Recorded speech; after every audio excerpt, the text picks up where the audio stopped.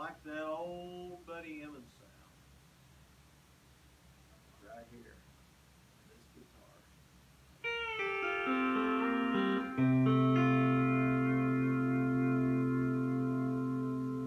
Jackson Profile.